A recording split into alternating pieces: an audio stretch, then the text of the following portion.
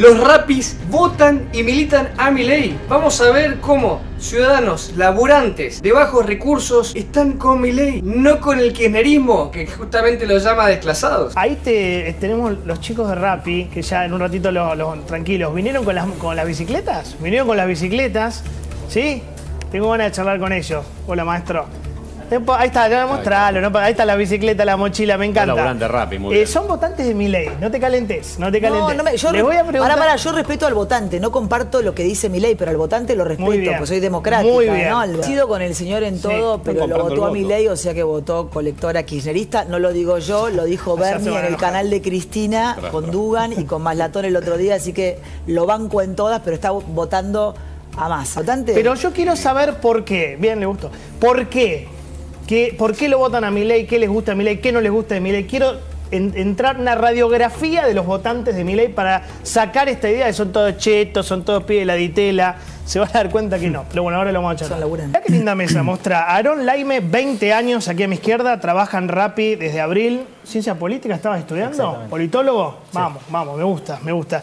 Y Carlos Andrés, hola Carlos, Carlos Ferreira, 36 años, Rappi desde enero. Sí, también ah, estudié Ciencias Políticas. ¿También Ciencias Políticas? Dejé la UBA ah, porque me hicieron la vida imposible en, el eh, Centro de Adoctrinamiento de, la Regional Sur. Ah, mirá vos, mirá vos. Bueno, no sé, les pregunto, ¿son los dos votantes de vos votás a Milei, votaste a Milei? Por supuesto, voto, lo milito, estamos en los barrios más pobres del conurbano, principalmente en Villa Fiorito, los más de Zamora. Mira. Haciendo la tarea que, que nadie se anima a hacer, o sea, llevar las ideas de la libertad y el conocimiento para liberar esclavos del siglo XXI, ¿cierto? Gente que depende de planes sociales y vive en la pobreza y el conformismo, si bien ganaron en las, en las elecciones últimas, este, lo, lo votan no porque los quieran, sino porque tienen miedo de perder los 70 mil pesos miserables que reciben para, por barrendear. Esclavitud. exacto, es un voto retenido por ellos. Pero estamos trabajando ahí y hicimos una buena elección. ¿Y mi ley van a perder los planes sociales? Claro, para eso estamos nosotros, para informarles que no están así. Ah, o sea, no van a perder los planes sociales. no, no, no, mi ley lo que menos quiere es atacar a los, a los pobres es quitarle la comida de la boca de los pobres, lo que menos va a hacer. Mirá, lo recontra militás. Lo recontra milito. De hecho, vine a Argentina, vivía en Chile y decidí volver a Argentina para esto, para ayudar al que León sea presidente. ¿Esa es tu bici? Eh, eh, sí, sí, sí, sí. estoy trabajando con esta bicicleta. Son los dos laburantes de Rappi. Sí, sí.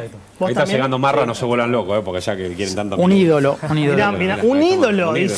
Sí, sí, un ídolo. Te felicito. Después de la opereta que le quisieron hacer del videíto, más ídolo todavía. Ah, la Vamos, Marra. Supuestamente en la dolarización. Me encanta, un capo. En estos cuatro años, supuestamente, lo que estaba mencionando. Sí, yo trabajo en Rappi básicamente de abril. Yo trabajaba de limpieza en Aeroparque. Chamarra no puedo creer. Sí. No, Marra, está extasiado. Pero viste los pibes de Rappi. Dale, contame, contame. Sí, nosotros acá por ejemplo, mucho de lo que se dice últimamente es por qué, por ejemplo, gente como nosotros votamos o militamos o estamos del lado de mi ley. Sí. Que normalmente es una un, se estigmatización mucho al votante diciendo que es de la clase alta. Vimos a Cerruti decir que, que hay muchos votantes que somos ricos. Te tratan de desclasado. ellos te dicen no tiene conciencia de clase. exacto. yo, yo soy de Villa Albertina, Loma de Zamora. Mi compañero está en Fiorito. Nosotros no somos gente que tenemos la facilidad de ir y por día gastarnos 20 mil pesos porque no la tenemos. La pregunta que ellos deberían hacerse es por qué gente como nosotros cambió de lado. ¿Por qué lo que ellos supuestamente representan ya no los quieren más? Muy ¿Por qué vos confías en Miguel ¿eh? y, no en otros políticos, por ejemplo? En Patricia Bullrich, Junto por el Cambio. Claro, buena pregunta. En la actualidad, básicamente... ¿Qué viste ahí, digamos? ¿Qué es lo que vi? Yo más que nada seguía a mi ley, o más que nada sus ideas, no la persona sino las ideas, por mi crianza, por los valores que yo tengo y por la realidad en la que vivo. Mi ley, actualmente los jóvenes lo ven como un outsider, como se dice, porque nunca estuvo, nunca estuvo en la anterior. Se dice que las ideas liberales vinieron con Menem o a veces hasta se llegaba a decir que vino en la dictadura. Mm. Una locura. O sea, vos te gusta que sea no político, te seduce Que venga de afuera. Básicamente que venga de afuera y que su relato no haya cambiado. Mario, ¿qué, mirada tenés? Vos, la casta, vos simbolizás, es, es una broma, ¿no? Pero digo... Mario es político. Claro. Yo soy político. Vos sos político, reivindicás la política.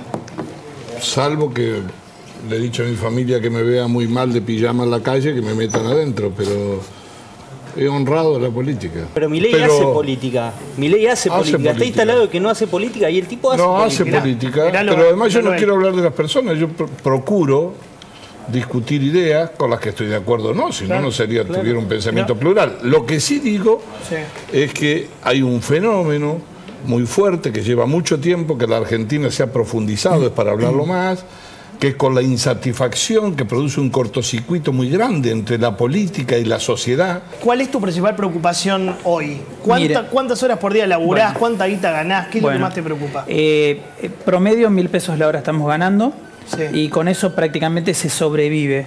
Se sobrevive arriesgándose, arriesgando la vida a perderla en un accidente, en un asalto. A veces te toca ir a lugares peligrosos para entregar eh, lo que se, los productos que uno, ven, que uno vende, ¿cierto? O sea, si laburás 10 horas por día, hace 50 lucas por semana, 200 lucas por mes. Sí, pero es un poco difícil. Eh, yo voy en las horas de alta demanda, que es a la noche, porque de día también tengo que dedicarme a trabajar ahí en, el barrio en Fiorito, por ejemplo. Hay, hay, muchas cosas que hacer. Yo para eso vine a Argentina. A la noche te pagan más. Eh, sí, exacto. Yo este, yo vivía en Chile, me, fui en la pandemia acá por el desastre, me prohibieron trabajar, nunca me pasó eso que un político, mientras que se enfiestaban en, la Quinta Olivos, este, a mí me estaban fundiendo, me hicieron perder ahorros de años de toda la vida y me fui a Chile, emigré porque me abrieron las puertas, mando saludos a todos los que tengo allá, y, sabes que este, me, abrieron las puertas, progresé, de un mozo en Chile 1.500 dólares gana por mes. ¿A usted le parece? ¿Nos merecemos estar como estamos? Que acá un mozo, ¿cuánto gana? ¿100 dólares? ¿200? ¿Les parece? En Chile no es lejos. Si mi ley no es presidente, vos te no, No, porque yo tengo que trabajar en los barrios bajos para liberar a los esclavos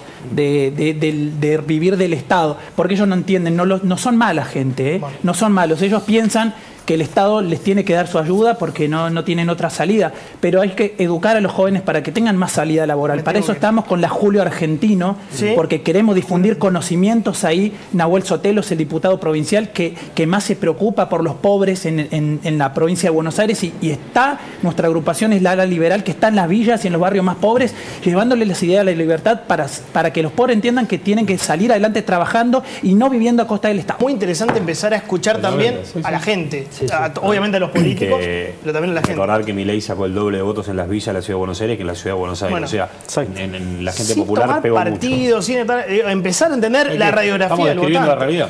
Gracias, chicos. el liberalismo de élite, ¿no? Con permiso, con permiso, chicos, exacto. Yo les comento, eh, si hay clasismo en todo caso de muchos pobres que ven con malos ojos es al, a Juntos por el Cambio, que, que, ellos representan el chetito, el chetito del barrio Concheto, de, Banfield, eh, del centro de Lomas, que es donde ganan, o los lugares pudientes de clase media. Esto es tremendo, es realmente histórico. Mi ley arrasa, o sea, estos laburantes que como escuchábamos, hacen 1,3 dólares al día, o sea, mil pesos.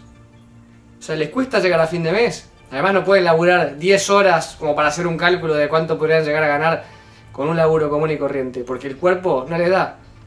O sea, hay gente de abajo, que ellos mismos decían, de barrios carenciados, algunos de los barrios con menos recursos, más peligrosos, y no solo lo votan a mi ley, sino que además lo militan a mi ley.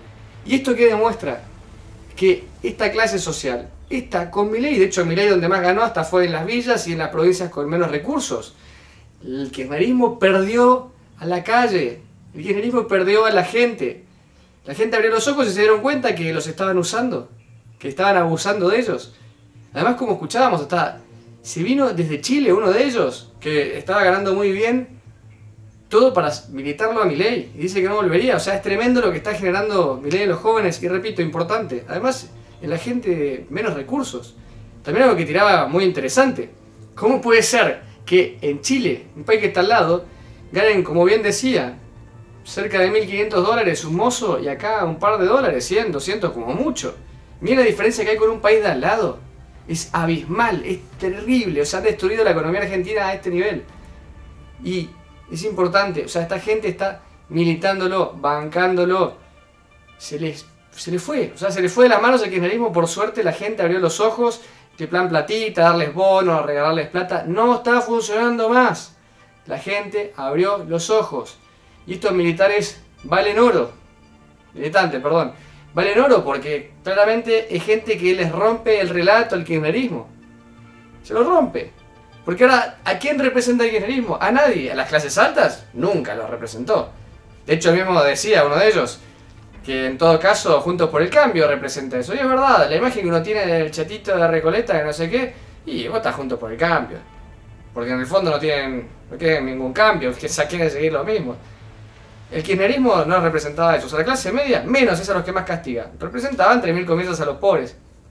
Las clases bajas, los pobres, los laburantes, ya está, no están con ellos. Es tremendo lo que está haciendo. Mi ley arrasa.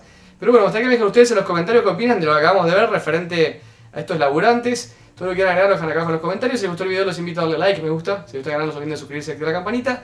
Acá abajo dejo las redes sociales y nos vemos en un próximo video. Yo soy Cris y Tomate, ¿cómo Hasta la próxima.